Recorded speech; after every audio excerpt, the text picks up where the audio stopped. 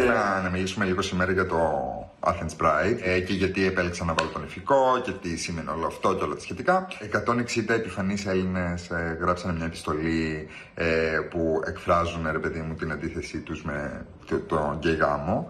Ε, και αυτό κάπως ήθελα εγώ να σχολιάσω. Μέσα σε αυτή την επιστολή χρησιμοποιούν πολλά επιχειρήματα ε, τα οποία δεν θεωρώ ότι έχουν να κάνουν με, το, με την LGBTQI κοινότητα γενικότερα. Ε, μιλάνε για την καταστροφή της οικογένειας, του θεσμού της οικογένειας, ε, που ενώ την ίδια στιγμή στην Ελλάδα η ενδοοικογενειακή βία αυτή την περίοδο έχει λίγο ξεφύγει και δεν βλέπω την πολιτεία να κάνει κάτι.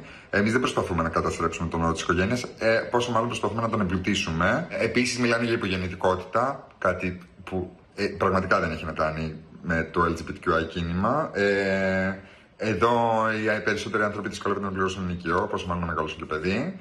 Αυτό ήθελα εγώ, ρε παιδί μου, έτσι να, να, να εκφράσω με την, με την επιλογή μου, ε, που στο κάτω-κάτω φάνη είναι, πλάκα έχει, δηλαδή δεν, δεν καταλαβαίνω γιατί πρέπει να τα παίρνουμε όλα τόσο, ξέρεις, ε, στα σοβαρά.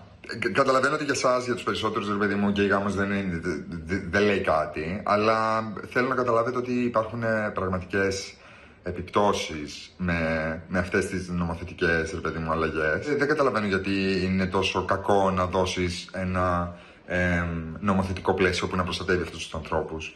Ε, και στο κάτω-κάτω δεν στερεί το δικαίωμα από οποιονδήποτε άλλο, απλά, ξέρεις, εμπλουτίζει, ας το πούμε, το, την ελευθερία του κόσμου.